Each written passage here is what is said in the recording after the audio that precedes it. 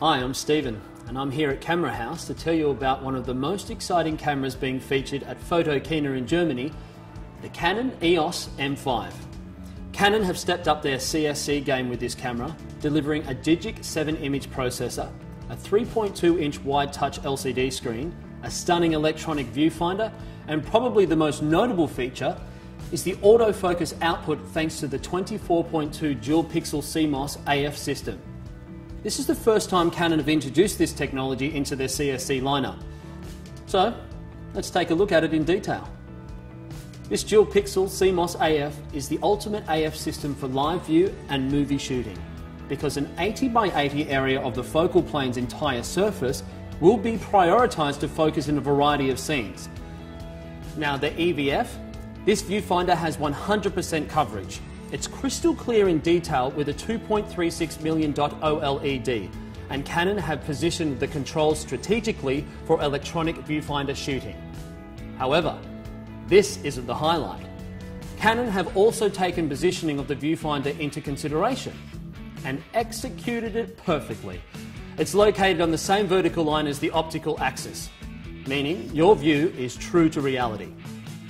As mentioned, a Digic 7 image processor is on board the EOS M5 with a normal ISO speed of 25,600, providing great image clarity when shooting with high ISO speeds and reduced noise around the edges.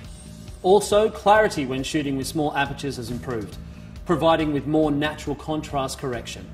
The EOS M5 also improves on continuous shooting, compared to its predecessor with 7 frames per second AF tracking and 9 frames per second with AF and AE fixed shooting.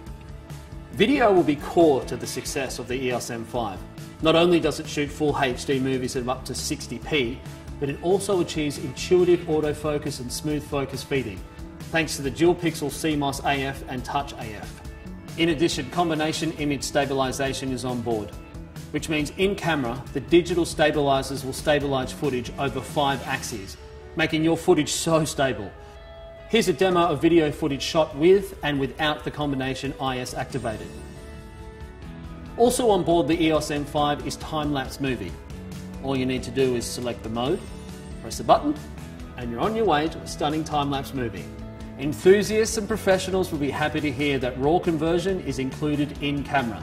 So when you have some spare time, you can edit and convert RAW data right on your camera making it possible to intuitively confirm the before and after edits on the LCD screen.